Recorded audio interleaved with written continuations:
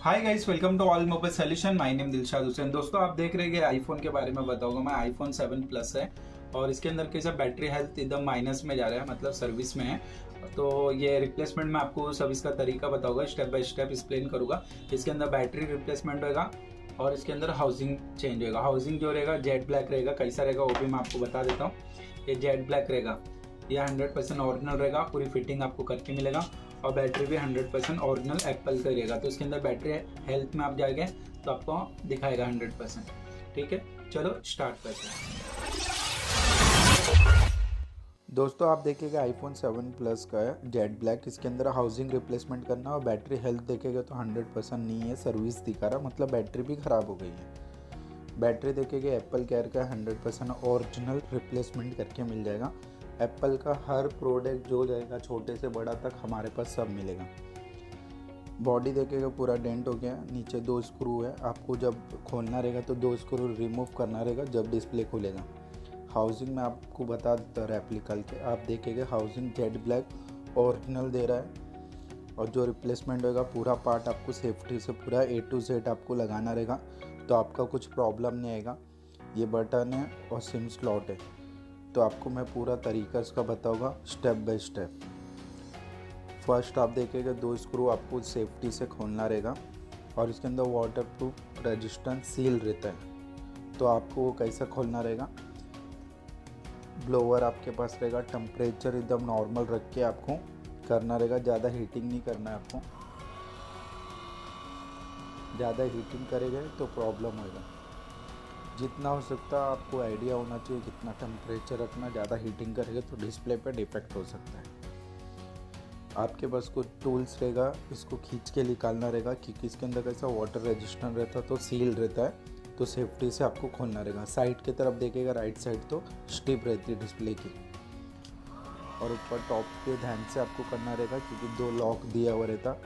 Wrong होएगा तो display पे लाइन आ सकती है। और कैमरा स्ट्रिप स्पीकर स्ट्रिप ऊपर टॉप पे रहता है, आप देखेंगे तो। मैं स्क्रू खोल लिया हूँ। ये ट्रे जो ऊपर का रहता है, उसको मैं रिमूव कर लेता हूँ। दोनों तरफ़ से आपको निकालना है सेफ्टी से। क्लिप आपको पहला बैटरी का निकालना है डिस्प्ले का निकालना है। उसके बाद आपका स्ट्रिप का निकालना है, जो कॉलिंग स्पीकर और कैमरे का कनेक्शन रहता है। इसमें कुछ भी मिस्टेक नहीं होना चाहिए। बैटरी का जो कनेक्टर होता है, उसको सेफ्टी से निकालना रहेगा, जितनी भी स्क्रू रहेगी। पहला मदरबोर्ड ओपन करने से पहला बैटरी के जो गम्स रहते हैं, ये निकालना रहेगा। बैटरी के नीचे रहते हैं। इसको खींच के निकालना पड़ेगा। या आपके पास केमिकल रहेगा, उससे भी आप निकाल सकते हो। बैटरी आप देखेंगे, पूरी मेल्ट हो गई है। टॉप का देखेगा तो आपको ये निकालना रहेगा पूरा स्क्रू। ये मदरबोर्ड के स्क्रू है सब। साइड में आप देखेगा कॉर्नर की तरफ़ अंटीना है वाईफाई का सेफ्टी रख के आपको निकालना रहेगा। और जितने कनेक्टर आपके पूरा सेफ्टी से खोलना है। मदरबोर्ड आप देखेंगे एकदम प्रॉपर निकला है, कुछ प्रॉब्लम नहीं है। अप डाउन, ऊपर नीचे होगा तो आपको नेट डेड होने का भी चांस रहता है तो आपको सेफ्टी से ही करना रहेगा। दोनों कैमरे का स्क्रू जो ऊपर रहता है वो रिमूव करना रहेगा और कैमरा एकदम सेफ्टी से निकालना रहेगा। कैमरे की तरफ़ जब ऊपर से निकालना, नीचे से नहीं निकालना, नहीं तो स्टिप खराब होगी तो कैमरा आपका ख़राब हो जाएगा। पोर्ट्रेट चलेगा नहीं फिर। कैमरा देखेंगे एकदम ओरिजिनल दिया हुआ है, जो रहता है एप्पल का। लेंस के ऊपर डिफेक्ट नहीं होना चाहिए। जो चार स्टिप है वॉल्यूम बटन और फेवरेशन हो पूरा आपको ट्रेल निकालना है। ये जो स्टील का स्क्रू है, ये पूरा आपको निकालना है। ये क्या रहता है? डिस्प्ले का है ना, लॉक रहता है, जो बैठता है ऊपर से। पूरा लाइन से आपको निकालना है और ऊपर से वाटर रजिस्टेंट आप देखिएगा, स्पीकर दिया रहता है, नीचे जाली तो ग्रिल आपको हिसाब से निकालना रहेगा।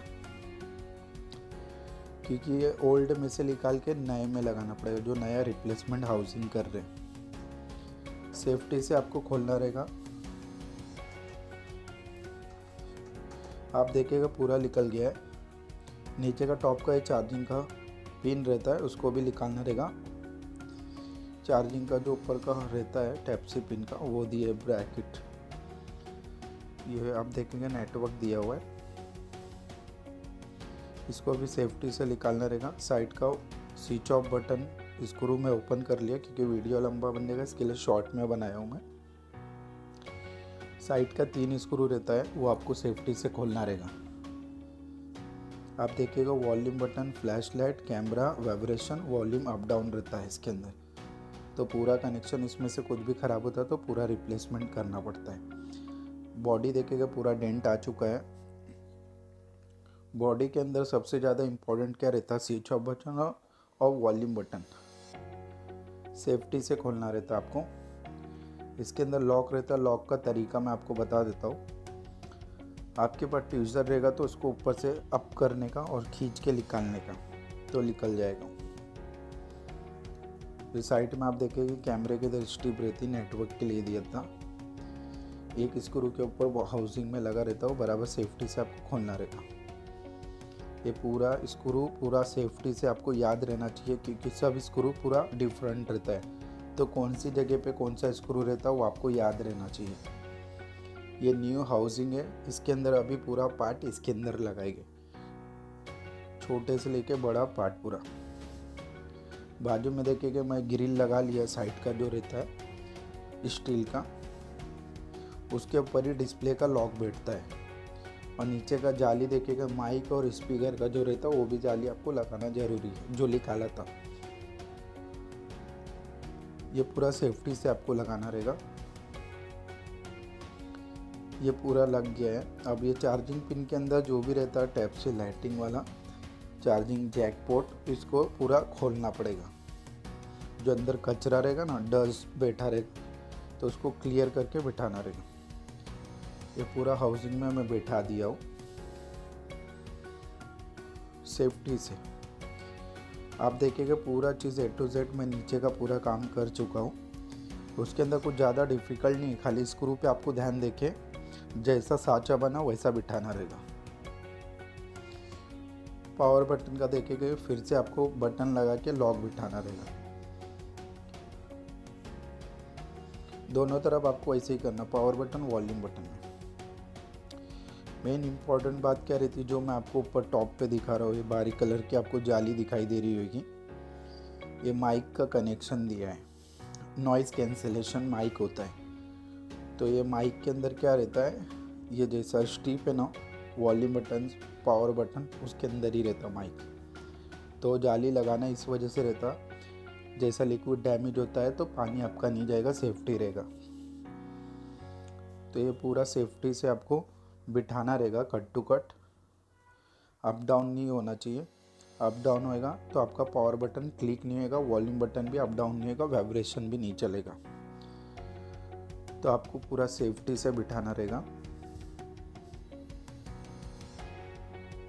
दोनों तरफ़ राइट और लेफ़्ट की तरफ़, और जो स्क्रू रहेगा आप नॉर्मल लगा के छोड़ सकते हैं, बाद में फिटिंग पूरा प्रॉपर कर सकते स्क्रू लगाने के बाद आपको पावर बटन वॉल्यूम बटन दबा के प्रेस करना है।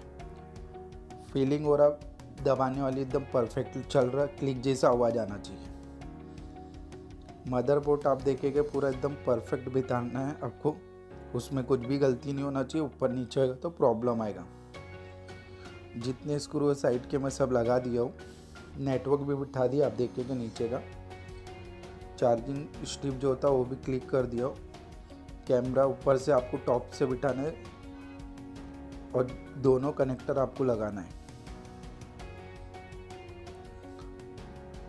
ऊपर का जो ग्रिप रहता है, जो स्टील कलर का सेफ्टी रखने के लिए, जैसा वो क्यों देता है क्योंकि आपका फ़ोन गिरता है तो कैमरे में कोई डिफेक्ट नहीं आए। तो वो भी आपको लगाना रहेगा। ये पूरा बैठ गया और ये वाईफाई का है, ये भी आपको सेफ्टी से बिठाना रहेगा। चार स्क्रू रहता है। एक, दो मदरबोर्ड में रहेगा, एक बॉडी में रहेगा हाउसिंग में। मतलब नेटवर्क का जो फ्रिक्वेंसी रहता है, वो आपका पावरफुल रहेगा तो उसमें मिस्टेक नहीं होना चाहिए, नहीं तो आपका वाईफाई बराबर चलेगा नहीं। और ये जो स्टील का आप देख रहे, लगा रहा हूँ मैं, ये कनेक्टर रहता, ये power button volume button flash light noise cancellation वो सब कुछ उसके अंदर ही वो सेफ्टी से बिठाना रहेगा। अब ये सब बैठ गया। बैटरी का जो ऊपर का रैप रहता है वो निकाल लेता हूँ हाउसिंग में कभी भी आप बिठाते हैं बैटरी तो उसका एकदम परफेक्ट स्क्वायर साइज़ रहे, रहना चाहिए। बैटरी बैठ चुका है। डिस्प्ले का जो कनेक्टर होता है, वो बराबर बिठाना रहेगा। साइड में आप देखेंगे वाटर रेजिस्टेंट जो सील होता है, वो भी लगा देना है आपको। वो लगाएगा तो उससे पानी नहीं जाएगा, थोड़ा सेफ्टी रहेगा। कनेक्टर में पूरा बिठा लिया हो। ये स्टील का प्लेट होता है, ये भी लगा लिया हो, आप देखोगे तो। और एक भी स्क्रू इसके अंदर मिसिंग नहीं है, पूरा जो जो छोटे से लेके बड़ा पार्ट था, पूरा मैंने फिटिंग कर चुका हूँ। ये कनेक्टर के ऊपर ध्यान देना पड़ेगा स्टिप पे, नहीं तो टूटेगा, जब प्रेस करोगे तो आप टच नहीं चलेगा। ये पूरा आपको स्क्वायर पूरा बराबर फिटिंग देना पड़ेगा। फिट हो गया और इसका एमआई नंबर भी मैं चेक कर लेता हूँ क्योंकि जो सिम स्लॉट रहता है सेम वो हाउसिंग का ही लगाना पड़ेगा। नहीं तो उसमें कुछ प्रॉब्लम आएगा। कभी आप सेल करते तो आपको सेल नहीं कर पाओगे क्योंकि एमआई नंबर सेम होना चाहिए। डिफरेंट रहेगा तो नहीं बेच पाओगे आप फ़ोन अपना।